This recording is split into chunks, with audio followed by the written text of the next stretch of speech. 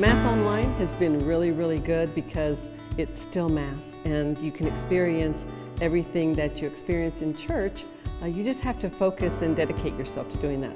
You know, coming to Mass now is an option, uh, but just know it won't be the same, but it will be something that is, it's still an experience. It's still our church. We love being here and uh, it's important if you want to come to come to church and it's equally important to stay home if that's more comfortable. Coming to church or staying home, God is still with you. He's inside of you and you can experience that and share that with others, uh, not just at church, but even just as you go about uh, your business, if you're in the community, uh, you know, go to the store, or especially at home, you know, with your family. When you're at home, uh, it's easy to just be more relaxed, and that's okay too. You know, as long as you're watching church and going to church, you know, and find a good place to do that and set that time aside, then you'll still be connected to God and you'll still be connected to one another and to others around you. That's important. You can make phone calls, you can send emails, you can even send old-fashioned letters, and that's a good way to stay connected.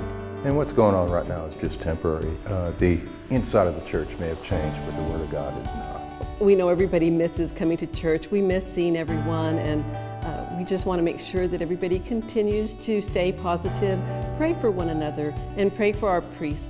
Uh, they're doing a great job, and we are so blessed to have them. So support them with your prayers.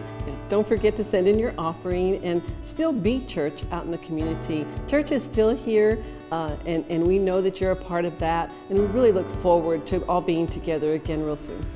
That'll be a very happy day.